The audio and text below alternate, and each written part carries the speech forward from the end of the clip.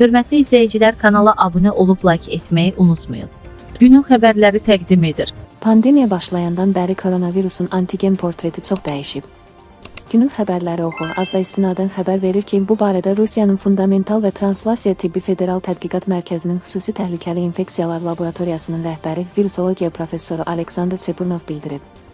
Əgər əhalinin əsas kütləsinin keçirdiyi xəstəliyi ilkin variant Delta Omikronun ilk variantlarını nəzərə alsaq, son 2 ildən bir az artıq müddətdə o qədər mutasiya baş verib ki, virusun antigen portreti əvvəlkindən xeyli fərqlənir. Yeni variantlar həmçinin bundan əvvəl vaksinasiya və ya xəstəliyi keçirməklə əldə edilmiş immunitetdən qaçma qabiliyyətinə malikdir, deyə virusoloq bildirib.